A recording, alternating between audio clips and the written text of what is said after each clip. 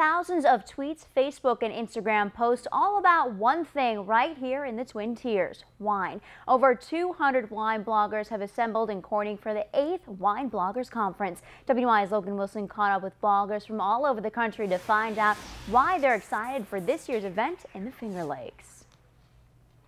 Last year we put in a bid and it was accepted because everybody has been talking about Finger Lakes wines. They want to taste it, they want to experience it, they wanted to see the region because we're not just wines, but we're all of wine country.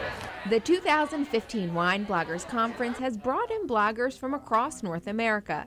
The eighth annual event is typically hosted on the West Coast, but is being held for the first time in the Northeast.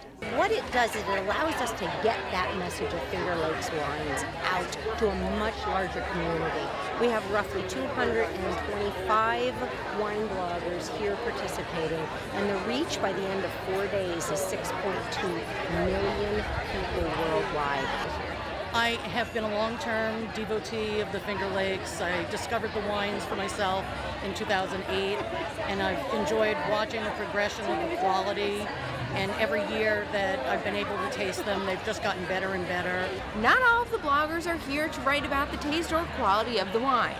Some of them are here to blog about the experience at the winery. Kind of our spin is how do you do wineries with kids in tow, um, kind of etiquette tips, um, how to make it fun for them as well as for us so that we still kind of get what we need from the experience, but they also learn a lot and have a lot of fun in the process. So it's kind of how do we do it all as parents and as you know people that just want to experience wine and have kind of a grown-up life at the same time. The bloggers will taste and visit local wineries on Cayuga, Seneca, and Keuka lakes.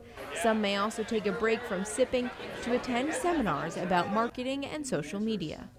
Beyond this region, they are still alien and foreign to so many people in the country, and they have no idea that the quality exists here. So the respectability, that's what I think that they'll walk away with from this conference. The conference kicked off last night and goes until Sunday, but many bloggers are planning to extend their visit. Reporting in Corning, Logan Wilson, WENY News.